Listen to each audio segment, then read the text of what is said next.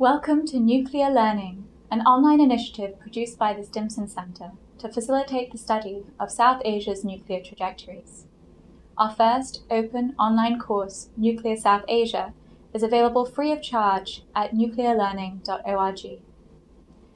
This video is part of a special series on India and Pakistan's 1998 nuclear tests and features General Anthony Zinni, former commander of the United States Central Command.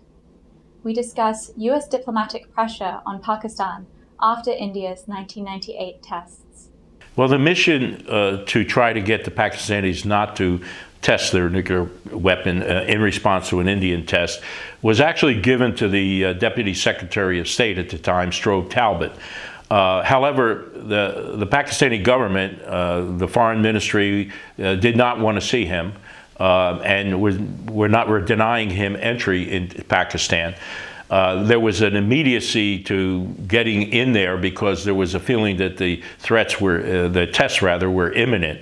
So I was called and told that uh, Secretary Talbott would come to uh, Florida, where my headquarters was, MacDill Air Force Base, and we would use my plane to fly out there, and I would go with him uh, to try to get the test stopped. Uh, it was important because my plane was um, aerial refuelable and it was the quickest way to get in. Uh, so he came down and was still trying to work the issue of uh, getting permission to get in. So I called my counterpart, which is General uh, Jahangir Karamat, who was the uh, commander of the Pakistani military, explained the problem, said, you really need to get the deputy secretary there. He said, come on and, uh, and, and, come. I will make sure the government uh, is receptive and, and you get an audience with the prime minister and the foreign minister. Uh, this was critically important because uh, we were going to run out of crew day and we would have to reset and would mean we would delay a flight 12 uh, or more hours. Uh, so we were able to get off. It was a 23 hour flight. We did several aerial refuelings. We got on the ground. We did get in to see, thanks to General Karamat, the Prime Minister, and the, most of the cabinet.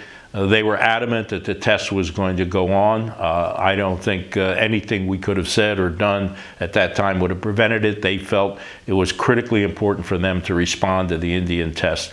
So in that sense, I think it was mission impossible. Uh, I do think it was worth doing, though, because I think it was important for them to understand uh, how critical we saw this from the United States point of view about the testing of nuclear weapons. I would say from their perspective, they felt that we were more forgiving on the Indian side and, and put more pressure on their side. That was their perception. And I think going forward, it was that uh, we tended to forgive more on the Indian side and held them accountable uh, for things. But then again, that, that was their view or their uh, perception.